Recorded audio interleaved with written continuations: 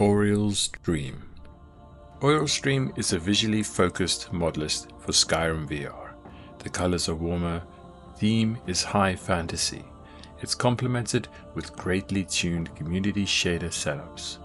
No changes were made to the perks or leveling or creating systems, and so by default, this is a vanilla game. But optional mods are provided to add popular game changing mods and as well as that there are two game modes, hard mode and survival mode. This mod pack comes packed with so many visual, stunning changes. Changes to ease of life, changes to the weather systems, changes to the nights and environments, and changes to all of the textures. All in all, this mod list is absolutely visually stunning. And in this tutorial, I'm going to show you exactly how to install this mod list for Skyrim VR, as well as how to edit it in Mod Organizer 2, and how to add more mods to it, or to set it so that you have the most incredible experience while still enjoying the vanilla game. So guys, please sit back and enjoy, and make sure to follow all the chapters to make sure you haven't missed any steps. And if you have any questions whatsoever, please make sure to drop them in the comments section and I'll get back to you as soon as I can. And as always guys, if this video has been helpful for you, please consider liking and subscribing as it really does help the channel.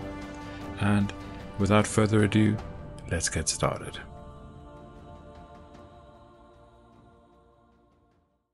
Now the first thing I would always recommend doing is making a fresh install on an SSD or an M.2. Always use a fresh install and always make sure there are no mod conflicts from previous installs. And once you've done that, run the game. All you need to do is run it once, get to the menu and then exit and that'll create all the required files for this mod list to work. Once we've done that, we're going to head over to wabbajack.org and we're going to download Wabbajack. Bear in mind, all of the links to all of the downloads will be in the description of this video, so do have a look. And once I've downloaded Wabbajack, I'm going to go over to the root folder of my SSD and I'm going to create a new folder called Wabbajack. Now this is where I'm going to place Wabbajack and where all of the mods are going to be downloaded to. So make sure you have plenty space. The mod list is around about 100 gigabytes, but I would recommend having twice that amount just to ensure that there are no issues during the installation process. And now that I've dropped Wabbajack into that folder that I've just created, I'm going to create another folder inside the Wabbajack folder called mods. And this is the directory the mods are going to be downloaded into.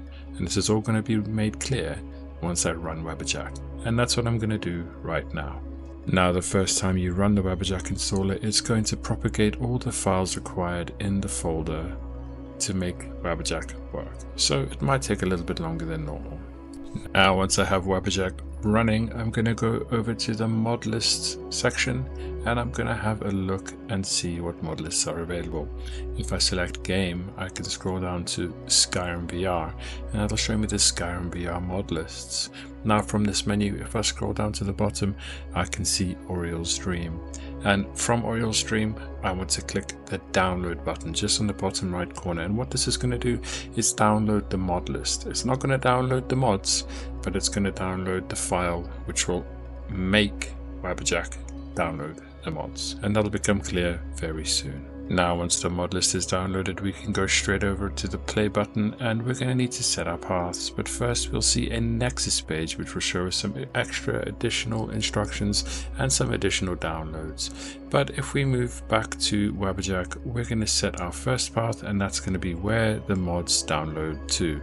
So we're going to find the folder called mods which we created earlier now, once you've done that, it'll automatically create a folder called downloads inside our mods folder so we can push play. Now, I've done it this way so that you can see a little bit of troubleshooting because it is very important that you actually log into your Nexus account using Wabbajack and you make sure your Nexus account is a premium account. It's very important you do that in order to automatically download all of these mods. If you don't, you'll have to do that all one by one, and there's 741 of them. So it's a very long process. So this is a little bit of troubleshooting for you guys. Before you actually download the mod list, make sure that you are logged into Nexus and you have a premium account. And I'm going to show you that now. So here we are in Wabbajack and I'm pushing the cog button and here it says Nexus Mods. Make sure you log in from here and make sure your account is a premium account. If you don't have a premium account, it's only about £5 for a month. So you can just pay £5 and then cancel your subscription. But that's how you do it guys. And this is what it'll look like when it is successfully downloading. It should take about an hour or two depending on your network. But once it's done, it's going to look like this. Now that we've successfully downloaded the mod list, we can make changes in MO2 and I'm going to show that to you now. Now we're going to head over to our Wabbajack folder and we're going to go into mods and inside mods you're going to see a file called mod organizer 2. Now it doesn't always have an icon so it can be quite tricky to pick up but it's the application.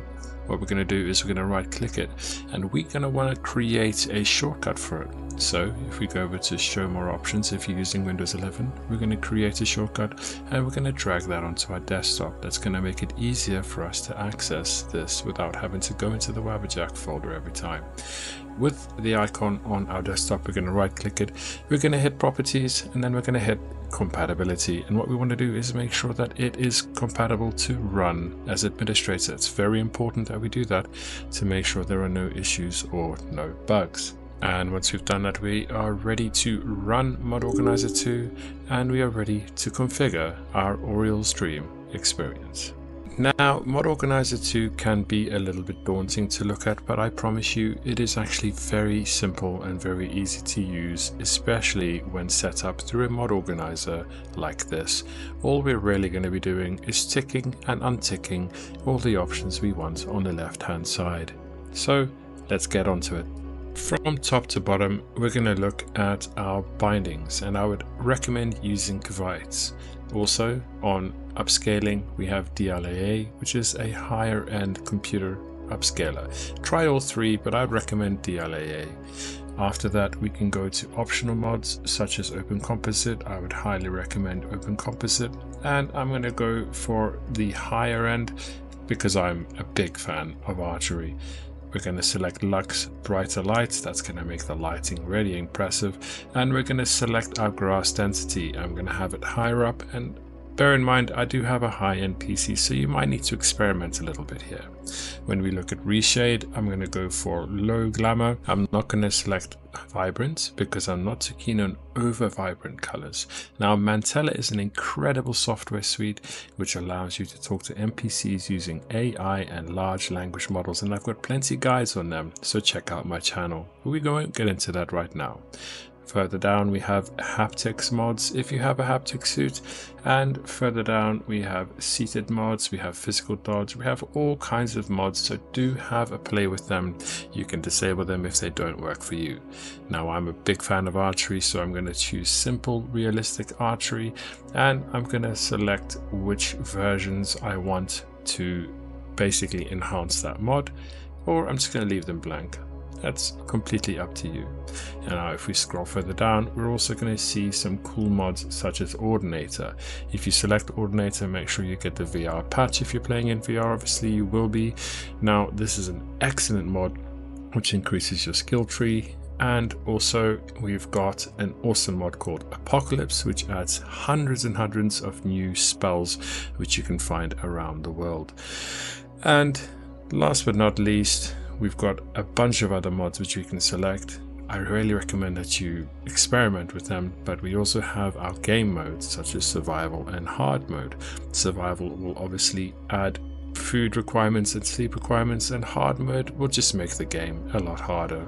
I highly recommend you select just a couple of them and experiment with them. And as you can see, any options below the ones that we have just listed it is saying please do not change any of the settings below this point. And that's because you can cause conflicts you can cause crashes. And because the wonderful team over at Auriel's Dream and FUS have made sure that it is all perfectly balanced. So do not mess with those settings just set the ones above.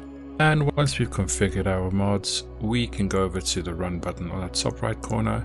As long as your headset is connected you're going to get injected into an incredible VR experience. Now it is worth noting that when you first start the game and go through the character creation section you will be in an alternate start mod and that will be so that you don't have to sit through a huge long intro trailer which I'm sure you've played a million times before. In this alternate start mod you get to choose your class, you get to pick up some starting gear and you get to choose which town you start from. I would always recommend starting from Whiterun and that's just so that I can start the main quest and then all the side quests will come after. And guys, that is everything you need to know about modding your game to play with Auriel's Dream. I really do hope that this has been helpful. Don't forget guys, you can add some extra mods to this mod list through MO2, but make sure that there are no conflicts or no issues before you do so. If this has been helpful, please consider liking and subscribing to the channel. I have a lot of content like this and will be releasing a lot more in the future. Thank you very much for watching guys and I'll see you in the next one.